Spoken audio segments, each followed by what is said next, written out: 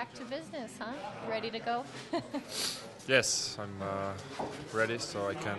I really can't wait to get back and uh, help the team, the team win some games. Yeah, we saw you at the end of practice, kind of just back in front of the net, tipping pucks. I mean, it's just back to the role that you had before, right? Yeah, I was just uh, working on my game a little bit, trying to get the touch back, and uh, yeah, it's been a while, so hopefully I'll uh, pick up pick up where I drop it off from, and uh, hopefully I'll be good tomorrow. Has it been encouraging to see, you know, even though you're such a vital part of the lineup when you've been out, the team has managed to bank some points. It's, I mean, it never feels good to sit, but have you been happy with how they've been able to kind of stay afloat without you?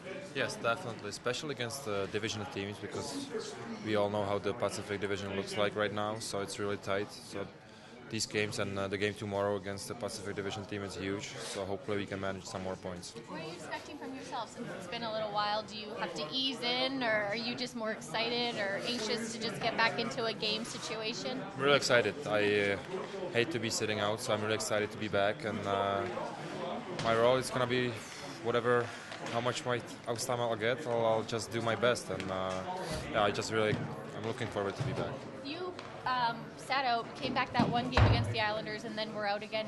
Did it surprise you how long this took? Like, did you think you'd be back for good when you played that game against New York? Yeah, that's what I. That, that was the plan. I uh, I didn't play. I don't know. I missed a couple games before, and uh, I was coming back before Christmas, and uh, just I finished the game. I felt pretty good, but the next day just uh, came back, and uh, I was.